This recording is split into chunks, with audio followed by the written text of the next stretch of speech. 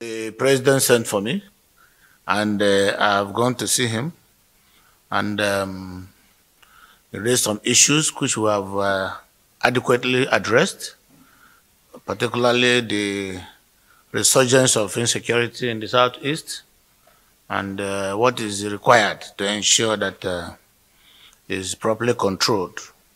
We discussed all that, and um, he took seriously my recommendations, and indeed, I can tell you, he immediately gave approval to all that, which includes uh, increase in manpower to security agencies, and then uh, uh, other logistic supports ranging from uh, additional arms and ammunition, and um, also we are making use of our local vigilante and the involvement of uh, community leaders to ensure that uh, through community arrangement, additional security is provided to the people. Well, you recall that uh, a few days ago, the home of uh, the President General of uh, Ohaneze, Ndigbo, was uh, attacked by bandits.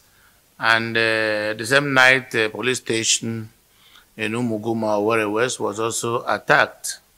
And uh, for a very long time, if you remember, we've never had such a situation.